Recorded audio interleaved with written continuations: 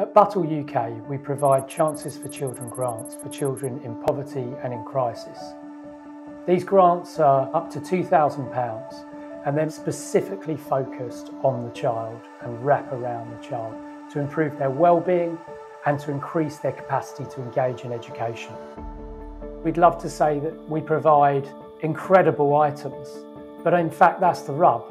We don't. We provide very basic, normal items that most of us would make a decision on in a second.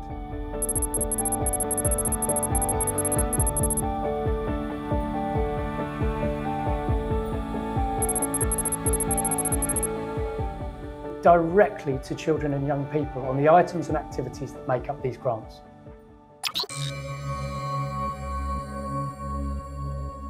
When the pandemic hit, we knew this would be disastrous for the children and young people that we support.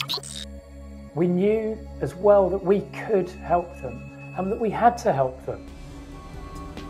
The response from funders was absolutely incredible. In what was such a challenging year, we were able to support over 5,000 children and young people with our Chances for Children grant.